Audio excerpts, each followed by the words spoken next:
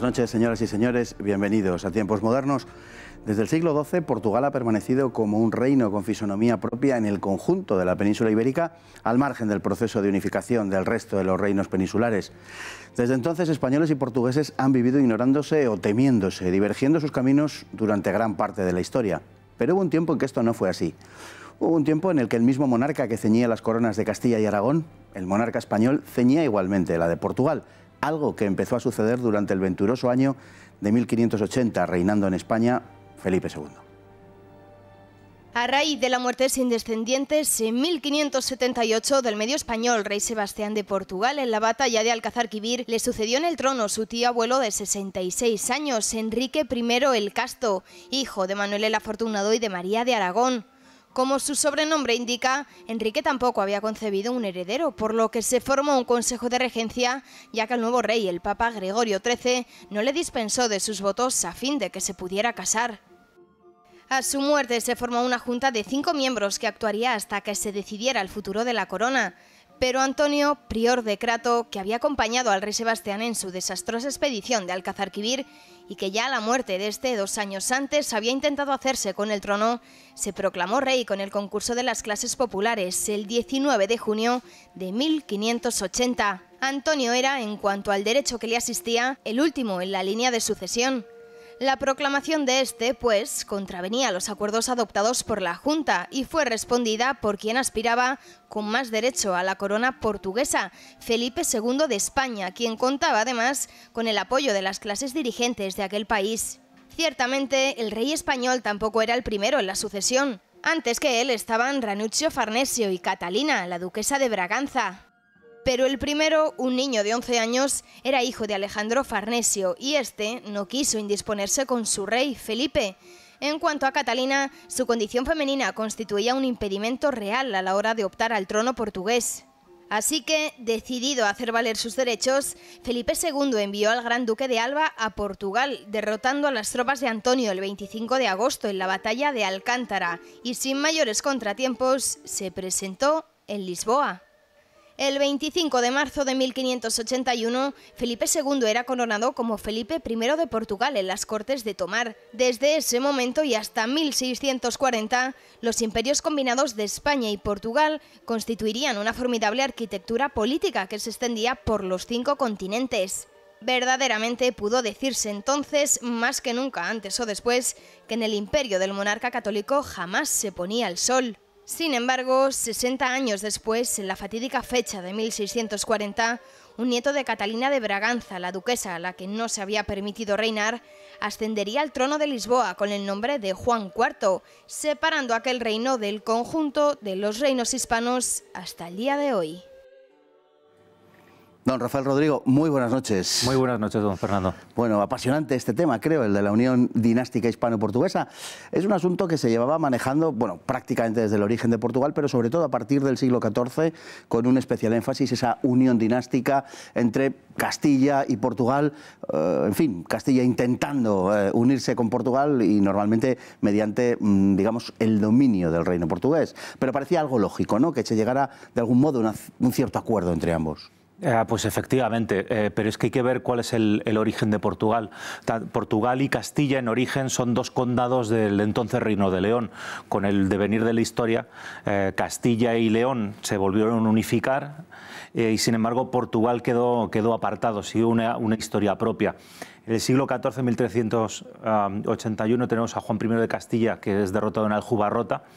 Y posteriormente hay una serie de alianzas eh, dinásticas, matrimonios, eh, por lo menos para que castellanos y portugueses eh, no tengan que reemprender otra vez la guerra y las armas. Hay acuerdos con tiempo de los reyes católicos sobre Canarias, el Tratado de Tordesillas y un doble matrimonio de, las hijas, en este caso de los reyes católicos, con Manuel el Afortunado. Isabel y María, que se casó con las dos, pero no al mismo tiempo. Es decir, que lo del afortunado es por, por otras razones, no por, por esta circunstancia. El afortunado fue porque se casó con dos españolas. Efectivamente.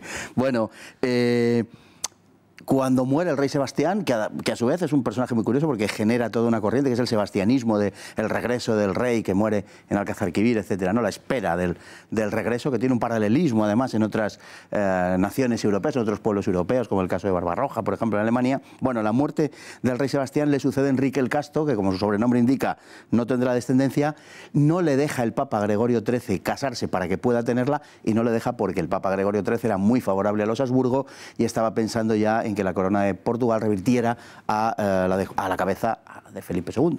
En esto hay que mm, resaltar la figura del cardenal Gran Vela, uno de los grandísimos consejeros de tiempos de Carlos V, y donde además este, mm, Felipe II, eh, su hijo, mm, hace propios estos grandes consejeros. En ese momento Gran Vela era el mayor diplomático y, el que más experiencia tenía en la Europa del siglo XVI.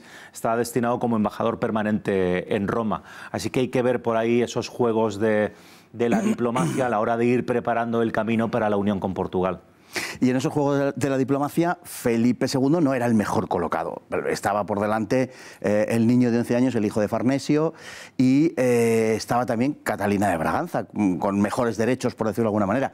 Claro, Catalina, como su nombre indica, era mujer y tenía un peor posicionamiento a la hora de hacerse con la corona portuguesa, y el niño tampoco lo tenía muy bien porque Alejandro Farnesio, por devoción, por obligación al rey Felipe, pues tampoco estaba por los derechos de reclamar los de su hijo, ¿no? De manera que Felipe II en ese sentido vio despejado el panorama de aquellos que le antecedían en la sucesión de derechos. Mm, y además también de forma muy inteligente utiliza otro diplomático, en este caso un portugués, a Cristóbal de Moura, que desde el año 1554 reside, reside en Castilla y está al servicio de la Casa de Habsburgo, para que vaya tanteando esa posibilidad que a las, a las, clases dirigentes y a la nobleza portuguesa le parece muy interesante, porque de todos los candidatos, por ejemplo, el niño Farnesio no deja de ser uno de los generales y uno de los gobernadores del propio rey Felipe II.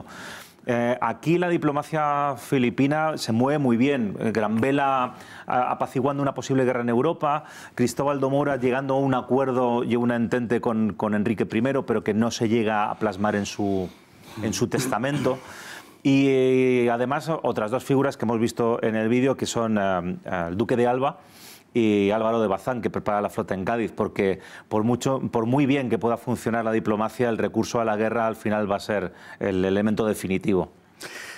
Bueno, a partir de la unión eh, dinástica, del hecho de que las dos coronas fueran ceñidas por la misma cabeza de Felipe II, este acuña el lema de non sufficit orbis, o sea, como en 007, el mundo no es suficiente. El imperio español, portugués, eh, reunido en la persona de Felipe II, es el más grande en cuanto a extensión que ha existido nunca, no de forma contigua en muchos de sus tramos, como es natural, pero sí en cuanto a lo que abarca. Y verdaderamente parece, bueno, se hace real esa frase de que en los dominios de Felipe II no se pone nunca el sol. Eh, los portugueses tienen factorías, tienen colonias en eh, Asia, en América y en África también, que era un poco, un poco el punto flaco, la África tropical de, de España, de la corona de Castilla. Y verdaderamente el sol no se pone en los dominios de Felipe II y el mundo parece eh, incluso pequeño para contener el poder del Habsburgo español. Es que, claro, hoy en día cuando pensamos en Portugal, pensamos solamente en el Portugal continental europeo y, no tenemos esa percepción de que en aquel momento, a finales del siglo XVI, era el segundo imperio más grande mm, planetario después del español. En, lo que hoy es el continente americano, que los españoles siempre llamamos las Indias, nunca América, eh, solamente había dos potencias, portugueses y españoles. Los primeros intentos de asentamiento, eh, por ejemplo, franceses, fueron desbaratados en, San Agustín de la Florida.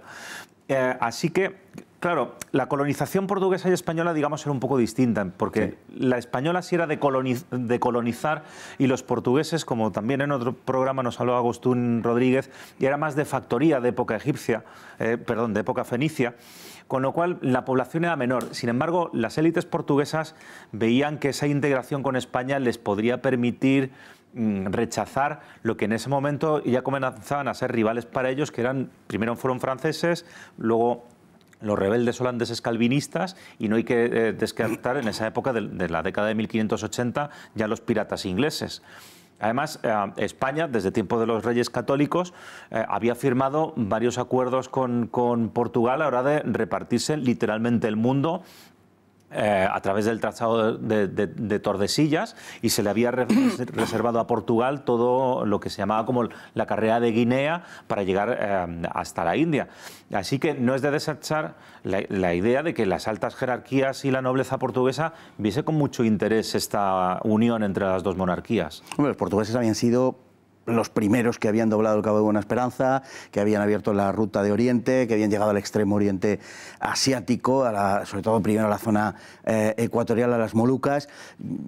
Fueron los navegantes más destacados de su época. Castilla y Portugal compitieron por el dominio de las rutas atlánticas, no siempre con buenos resultados para Castilla, hay que decirlo.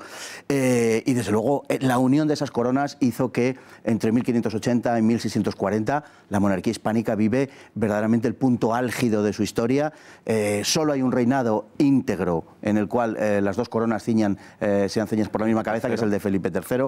A Felipe II le coge ya en los últimos años y a Felipe IV solo hasta 1640, es decir, los primeros 19 años de su reinado. Por tanto, no será mucho tiempo, pero sí será algo que dejará una impronta en la historia española y, que nos está llevando a una cierta revisión para reivindicar esa primera mitad del siglo XVII o primer tercio del siglo XVII como quizá la época álgida de nuestra historia.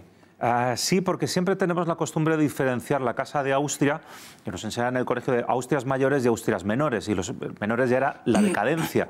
Lo primero que habría que rebatir sería la palabra decadencia. Tal vez lo que eh, sufrió la España de segunda mitad del siglo XVII fue más bien una crisis que no una decadencia como tal. Eh, el, imperio o el rey emperador Felipe III, un rey que no ciñe la corona de emperador, pero que tiene las posesiones marítimas más grandes, o, el, o Anus, Mirabilis de 1625, nos viene a hablar de todo esto. La crisis de 1640 es una crisis europea, es generalizada, no solamente es de España es el cansancio de la guerra de los 30 años que comenzó en 1618. Entonces, no es que solamente se sublevase, o sea, se independizase Portugal, se sublevase Cataluña, hubiese problemas en Sicilia, en Nápoles, continuase la guerra contra los, contra los calvinistas. En Francia tenemos la Fronda. Eh, en Inglaterra, una revolución que nos lleva a la dictadura de, Cromwell. O sea que es algo muy generalizado desde 1640. Lo que pasa es que, haciendo también historia ficción, yo recuerdo que hace muchos años, Gregorio Pérez Barba, el, el ex eh, presidente del Senado, tuvo una trifulca muy grande cuando se le ocurrió sugerir que tal vez a España le hubiese ido mucho mejor en 1640 utilizar eh, sus energías en recuperar Portugal y no tanto Cataluña. Bueno, se hizo lo que se pudo, como usted sabe, y se dejó, y no se dejó marchar Portugal, sino que fue la consecuencia de no abarcar quizá tanto como, se intentaba abarcar la, España de la época y fue una de las razones que le llevó a, Nietzsche a decir aquella frase de que los españoles fueron un pueblo que quiso ser demasiado. Pero es verdad que hay que reivindicar esa parte de nuestra historia porque es una parte verdaderamente gloriosa de lo que fue el imperio más eh, extenso del mundo, aquel en el que no se ponía nunca el sol.